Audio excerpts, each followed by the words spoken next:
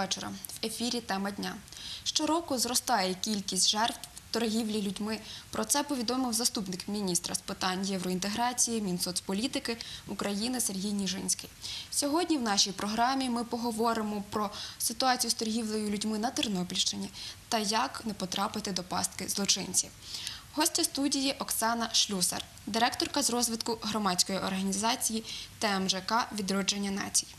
Перш ніж ми розпочнемо розмову, пропоную переглянути коментарі представників управління сім'ї та молоді Тернопільської ОДА, а також головного управління Національної поліції в області стосовно проблеми торгівлі людьми.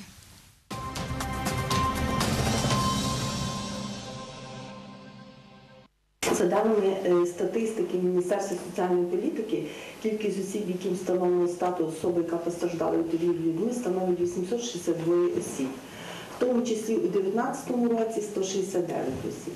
У Тернопільській області 33 особам встановлено статус особи, яка постраждала від торгівлі людьми, і в тому числі у 2019 році трьом особам. Ще на двох осіб направлені документи до Міністерства соціальної політики зараз в даний час перебувають на розгляді. Е, Тим особам, які встановлюється статус, ми надаємо відповідну допомогу, залучаємо громадські організації, які е, е, активно співпрацюють з нами. Наші громадяни останнім часом попадають в сексуальну експлуатацію. Країни призначення, ну куди вони попадають, це країни Єв- ближньоєвропейські, а також країни Об'єднаних Арабських Еміратів. Дуже багато туди їде.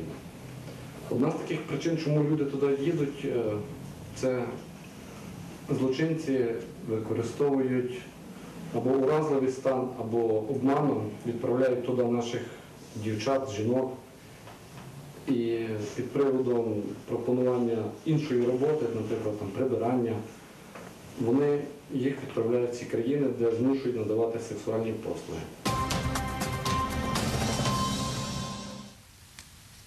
От пропоную зараз окреслити, що все ж таки означає слово словосполучення торгівля людьми. Мгм.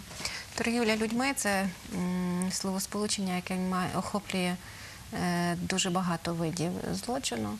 Е, Це є і примусове жебракування, це і є е, втягнення в трудову експлуатацію, сексуальна експлуатація, і використання в порнографічної продукції, і втягнення у діяльність пов'язану з злочинами.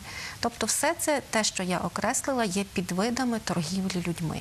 Що це таке торгівля людьми? Чітко окреслює закон України про е, торгівлю людьми, також окреслює стаття 149 Кримінального кодексу України.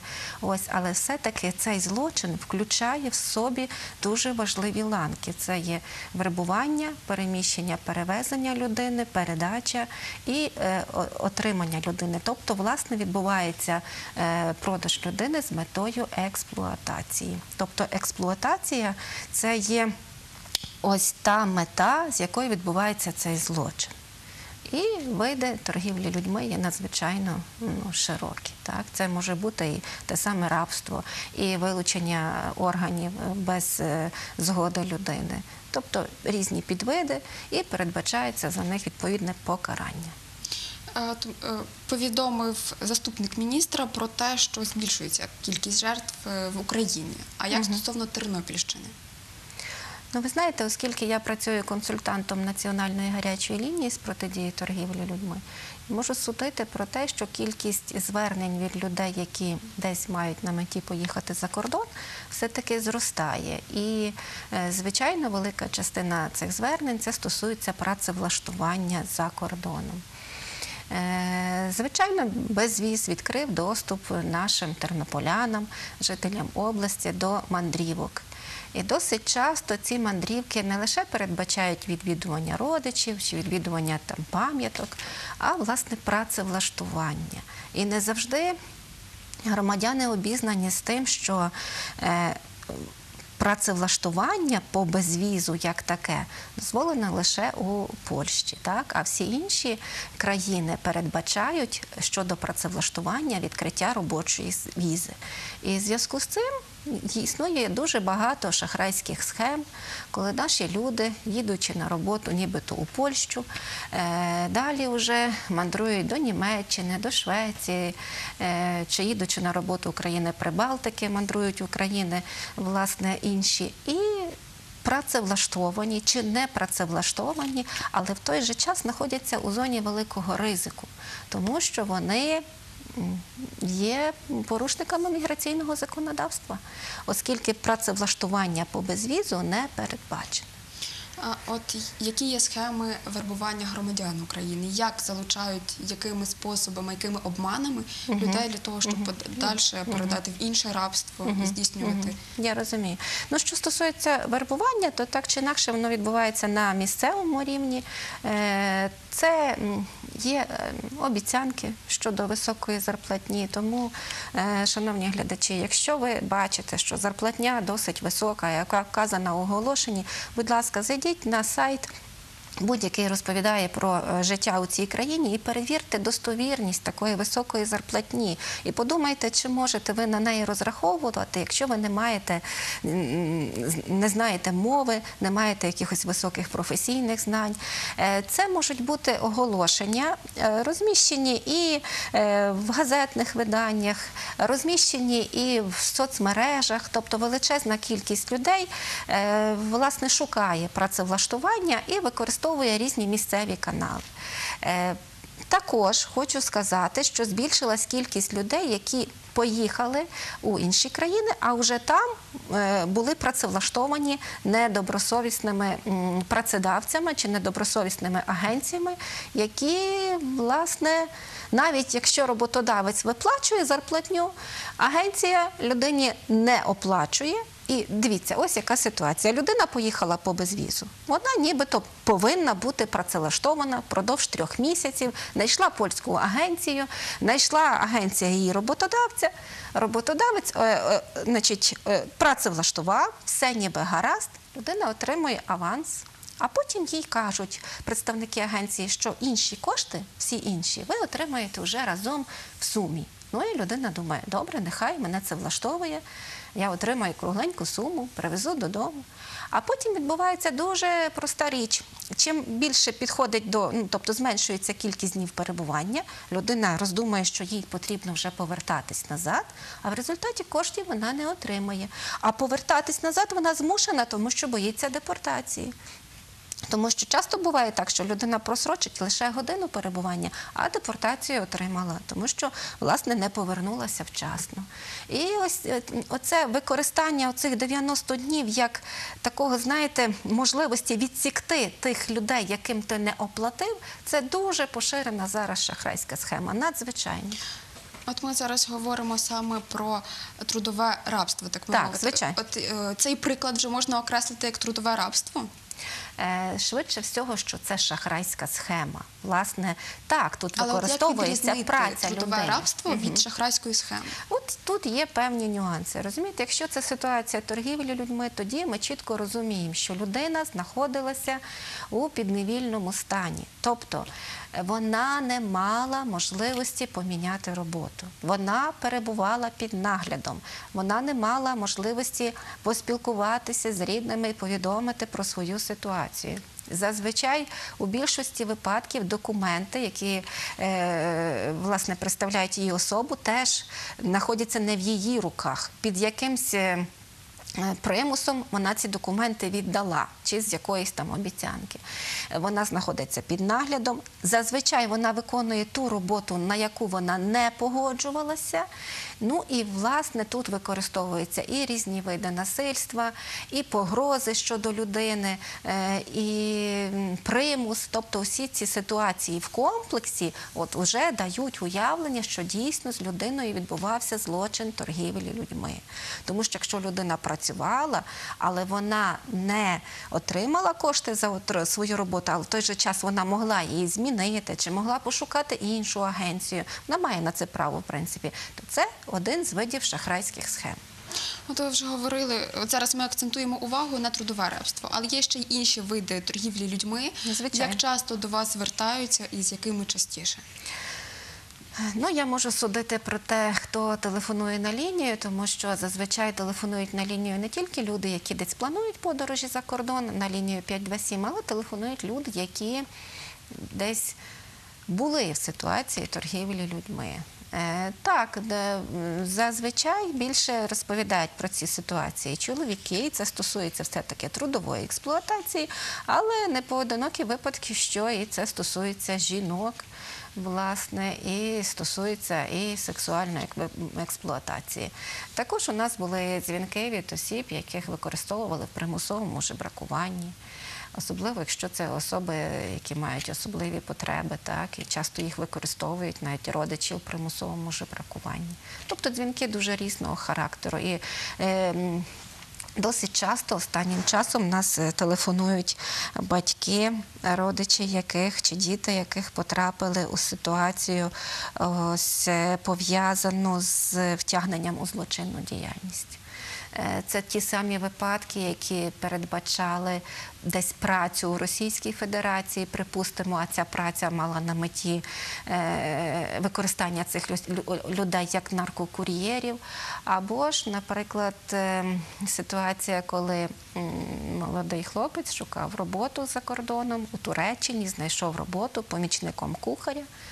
І в той же час зараз він опинився у в'язниці, оскільки е, на судні, де він працював, його змусили перевозити під дулом пістолета нелегальних мігрантів з Туреччини.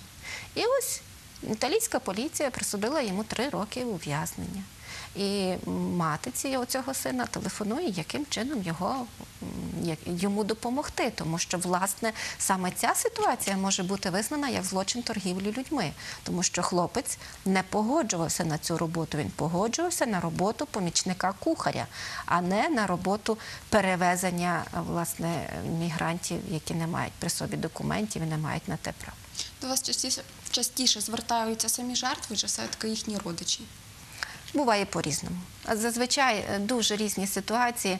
І хочу сказати, що навіть якщо звертається до нас особа, яка була в ситуації торгівлі людьми, ми її вносимо, оскільки в нас лінія анонімна, ми не маємо права запитувати про контакти цієї особи, прізвище, ім'я. Ми можемо. м, їй повідомити, куди вона може звертатись, на яку допомогу вона може розраховувати від громадських організацій, від держави. Ось, але чому е, часто буває так, що людина шукає роботу. Тобто вона шукає можливість працевлаштування у будь-якій там країні, припустимо, тій самій Польщі, так і вже під час розмови виявляється, що в неї була ця ситуація. Тобто є велика проблема людині самій себе ідентифікувати. Е, Вона не розповідає про цю історію рідним. Так, зазвичай каже, а та просто обдурили, так, або ж не розповідає деталі, або боїться розголосу, або боїться, що її будуть осуджувати, чи десь. Е, Сором чи великий страх того, що вона порушила міграційне законодавство, і власне, що вона десь чекає за це покарання, і тому не розголошує.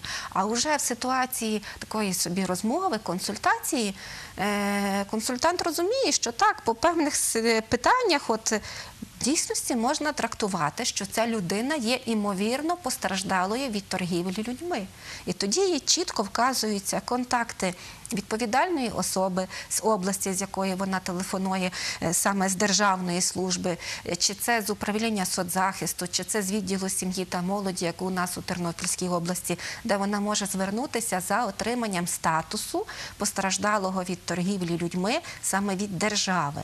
Також обов'язково, оскільки в Україні діє мережа організацій, які працюють в напрямку протидії торгівлі людьми, це 30 організацій у кожній області. Ми вказуємо контакти організації громадської.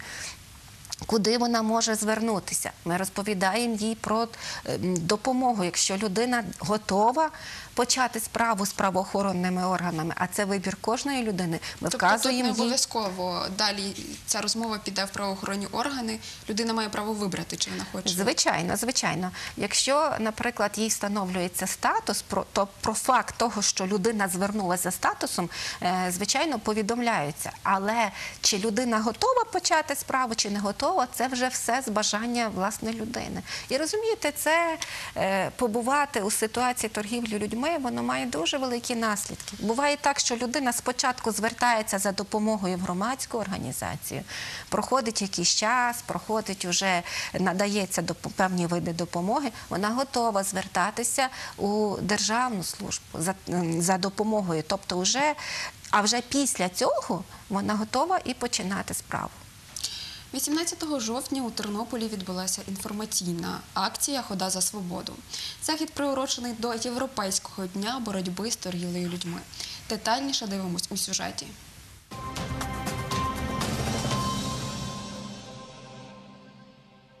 Але Акція Хода за свободу розпочалася на театральному майдані. Декларацію свободи зачитує тернополянка Людмила Пиріг. людей таких, як ти і я, продають та купують, наче товар. За моєю спиною формуються дві колони, і буквально за кілька хвилин вони рушать до вулиці Руської.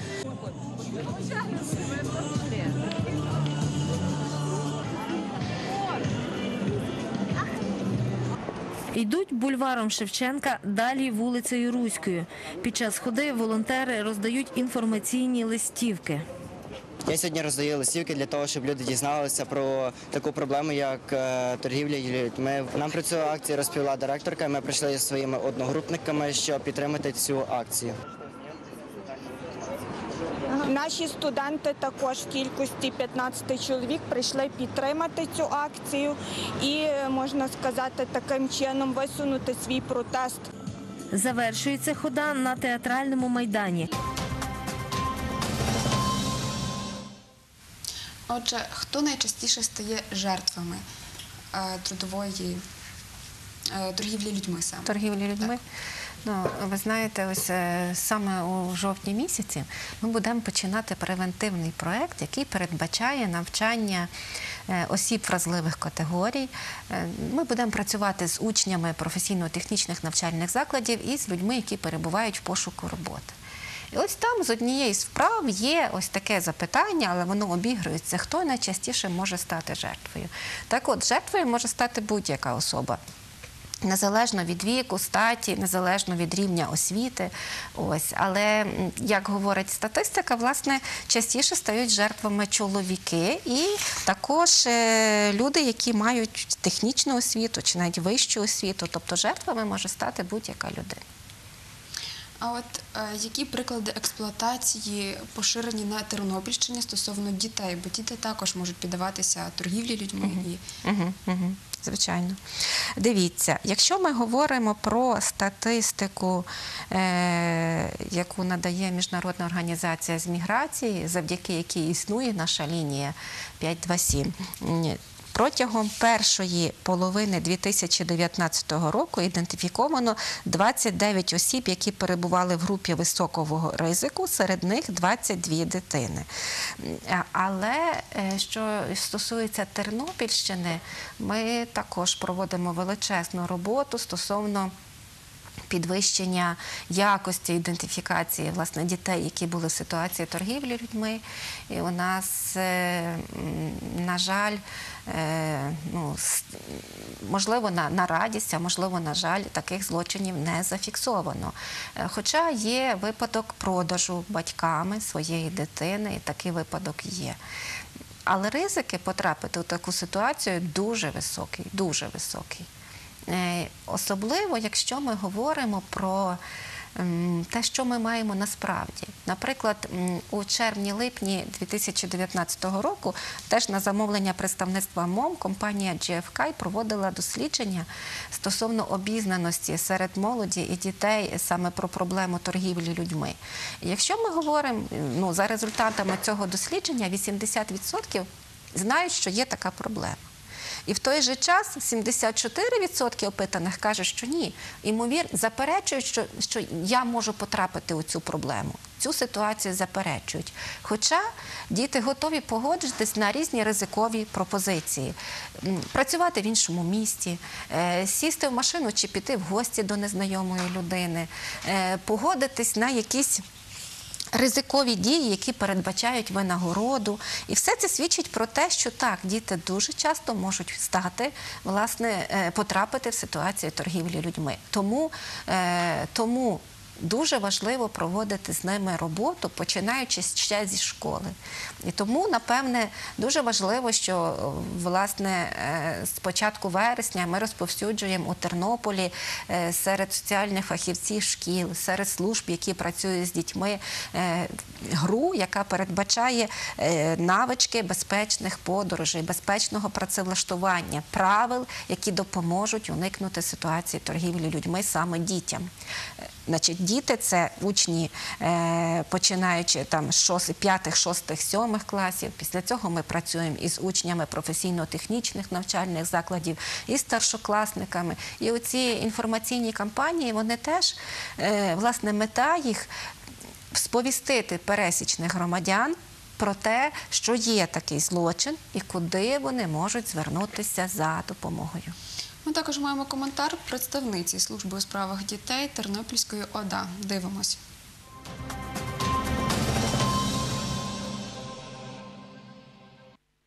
Почастішили випадки, коли нам повідомляють е, громадяни про те, що дітей залучають до ем, трудової експлуатації.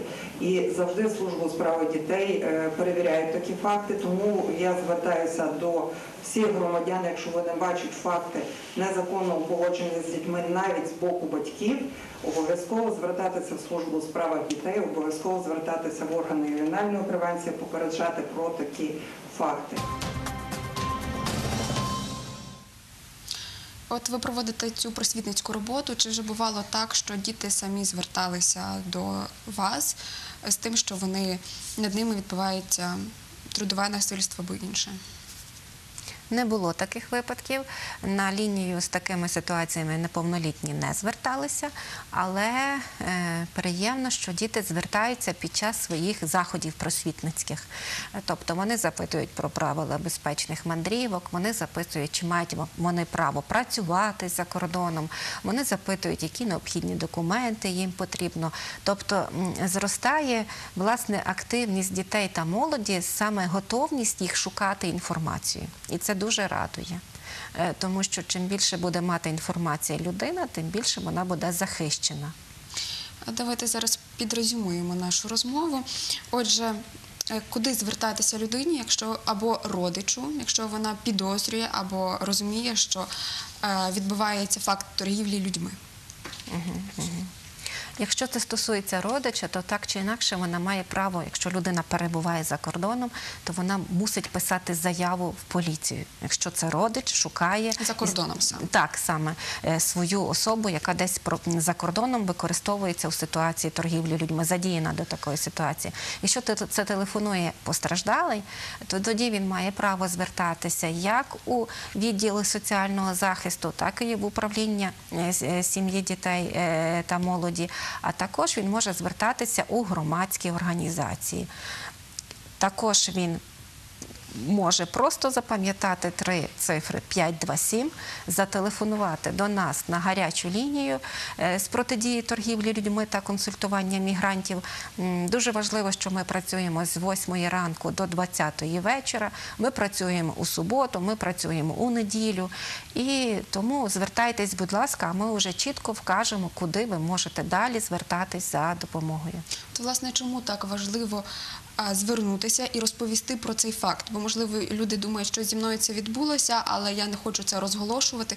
Чому важливо все ж таки звернутися стосовно злочину, який вчинялися над людиною? Знаєте, тому що злочин має свої наслідки, і вони е, інколи ну, не зовсім помітні для е, зовнішнього світу, так? але для особи, для її сім'ї вони можуть бути дуже помітні. І ці наслідки можуть стати ще більш плачевними. Тому дуже важливо, коли людина отримає медичну допомогу. У нас у Києві працює медичний реабілітаційний центр від міжнародної організації з міграції, де повністю обстеження, забезпечення усіма препаратами медичними е, покладається власне на руки цього центру, і людина отримає якісну медичну допомогу. Це дуже важливо. Дуже важливо, що вона отримає якісну психологічну допомогу, тому що так чи інакше це все таки травма, і для людини дуже важливо потім віднайти себе. Дуже важливо людині, можливо, вона має е, бажання отримати нову професію. Вона матиме е, можливість, їй оплатять курси з про перекваліфікації, з отримання нової професії. Вона може отримати допомогу у покращенні матеріального становища. Тобто, якщо людина не буде мовчати, а звернеться за допомогою, вона зможе допомогти собі за, за кошти інших, які готові це зробити, і в той же час вона може попередити злочини, які стосуються інших. На жаль, час програми нашої вичерпано, але дуже коротко і тезово. Все ж таки, як не стати жертвою е, торгівлі людьми, тернополянам, а також жителям області. Якщо ви маєте на меті подорож пов'язану з працевлаштуванням, чи це стосується перебування в Україні, чи це стосується перебування за межами країни, чітко повідомте своїм родичам, де ви знаходитесь, де ви будете перебувати, куди ви їдете. Домовтеся е, всю інформацію стосовно роботодавця. Домовтесь про те, яким чином ви будете зв'язуватися, яким чином ви будете дзвонюватися чи списуватися, коли це буде відбуватися. Дуже важливо забезпечити себе. Пам'ятайте, що документи повинні знаходитись у вас. Якщо є вірогідність, а вона так і є, що ви можете їх втратити. Будь ласка, зробіть скан копії документів, закиньте собі на електронну скриньку. Нехай вони завжди будуть ці копії у вас. Зробіть копії, тримайте їх окремо від оригіналів. Забезпечте себе усіма необхідними контакти, контактами консульства чи е, консульської установи України, діаспорських організацій, організацій громадських, які можуть допомогти вам у разі скрутної ситуації. Обов'язково домовтеся з рідними про слово, яке буде фіксувати їх, е, повідомляти їх, що про небезпеку. Оце кодове слово дуже важливо. Воно буде служити рідним дороговказом, що ви потребуєте допомоги, і що ви е, десь знаходиться у такій ситуації, що вони повинні вже включатися і вам допомагати. Дуже дякую вам за розмову та роз'яснення. Нагадую, що сьогодні гостею нашої студії була Оксана Шлюсер, директорка з розвитку громадської організації ТМЖК Відродження нації. Бережіть себе, до побачення.